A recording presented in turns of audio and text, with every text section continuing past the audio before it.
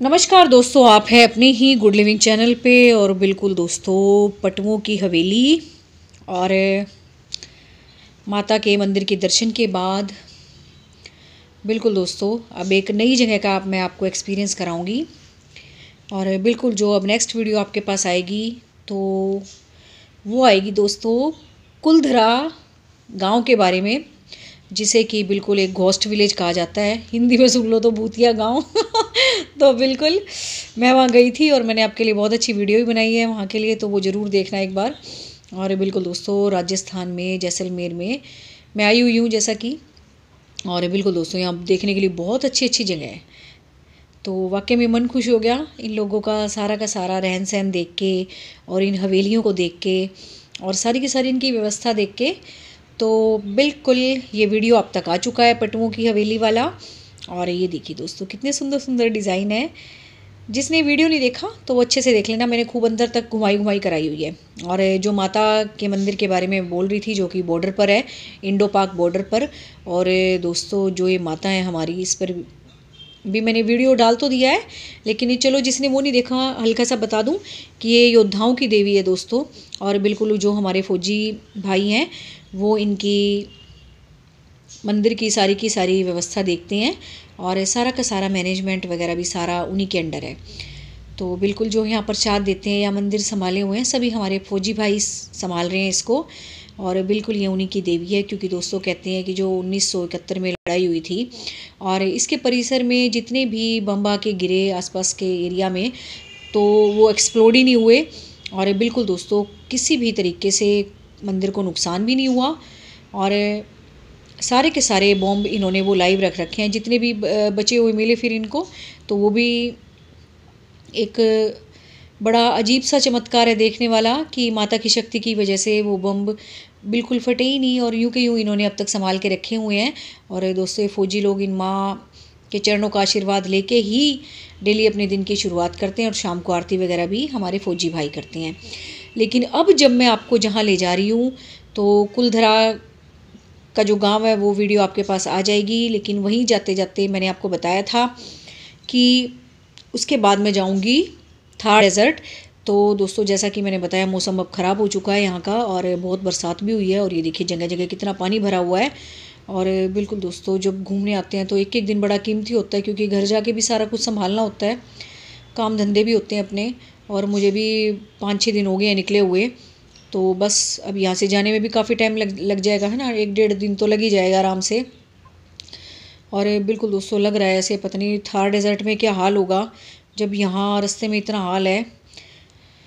और ये देखिए, ऐसा लग रहा है, बिल्कुल लग नहीं रहा कि रेगिस्तान में ऐसे लग रहा है, जैसे कोई नदी बह रही हो। बिल्कुल बाढ़ वाला दृश्य हो रहा है।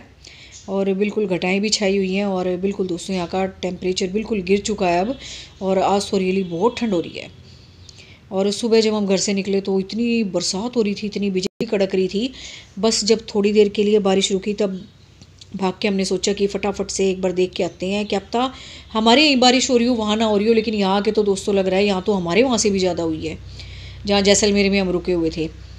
तो थार डेज़र्ट अच्छी खासी दूरी पे है जैसलमेर की, आता तो सारा इसी एरिए में ही है।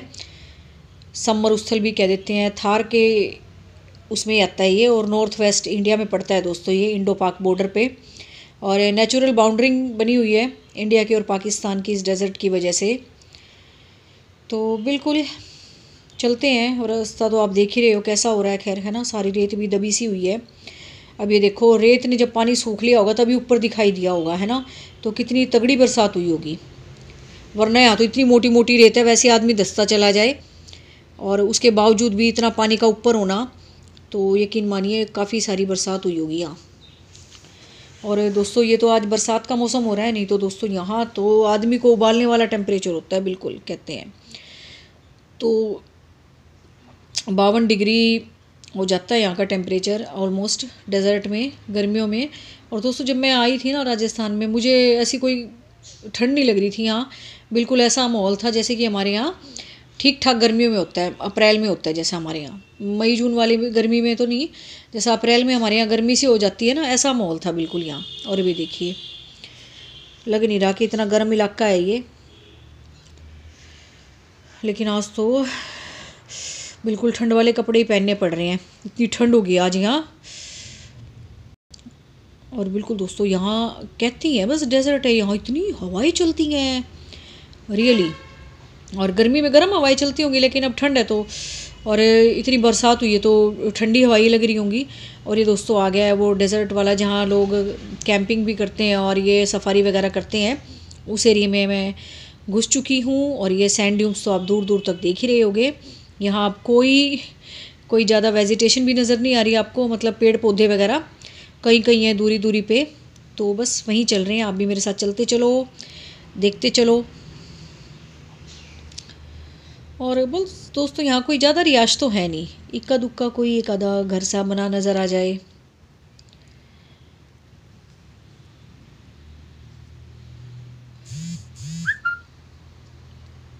बस ये देख लो आप, ये ना स्टार्ट हो चुका है एरिया जो कि ये सारी व्यवस्था कराते हैं ना अलग अलग चीज़ों की, मौज मस्ती से की, है ना?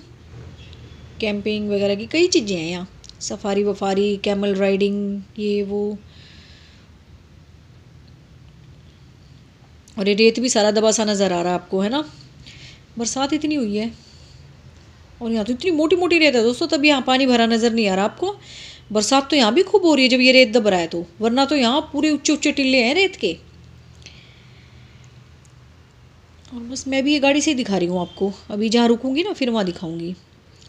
लेकिन सफारी वक्त, करते वक्त तो नहीं दिखा सकूँगी दोस्तों, क्योंकि कहते हैं वो, जीप में बैठ के सफारी करते हैं। तो इतनी उछलती हैं सैंड ड्यूम्स के ऊपर जाएँगी, नीचे जाएँगी, तब तो खुद का ही संभालना मुश्किल हो जाता है और वीडियो शूट करना तो बहुत मुश्किल बात है।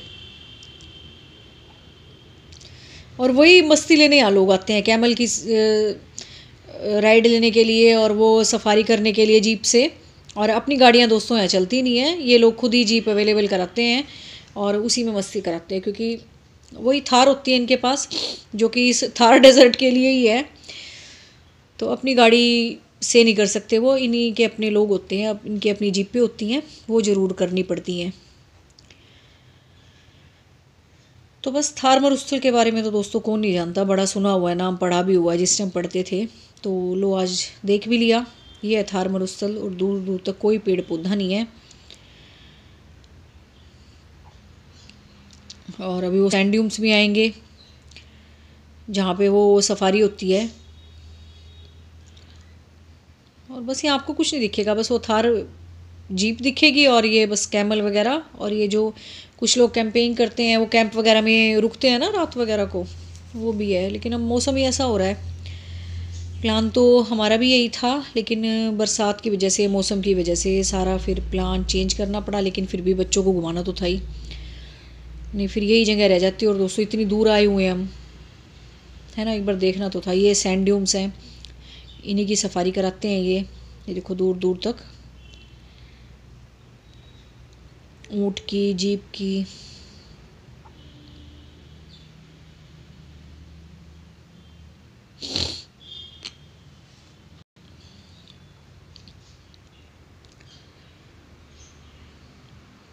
तो बस रेगिस्तान में तो भाई यही है, बस। जो असली रेगिस्तान है। और ये देखिए, ये है सैंड बच्चों को बड़ा शौक चढ़ रहा था सैंड दिखाओ सैंड दिखाओ। अब ना दिखाए घर जाते तो वैसे आफत।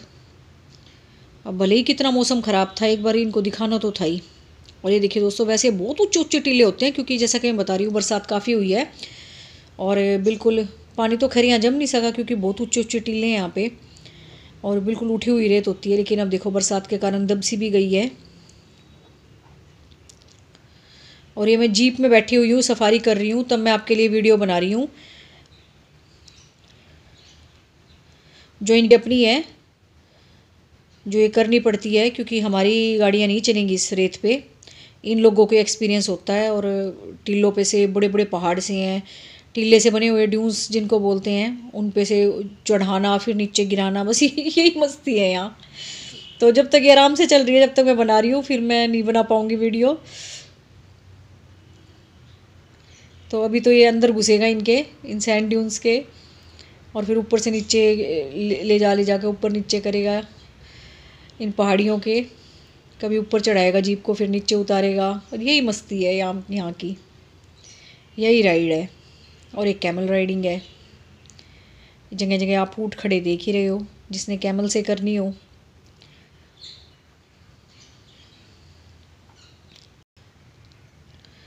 तो ये दोस्तों देखिए, अब ये राइड करके हम बीच में आ चुके हैं। इन सारे टिल्लों को पार करके जो पीछे दिख रहे हैं ना आपको तो ये भैया है, जो लेके आया था।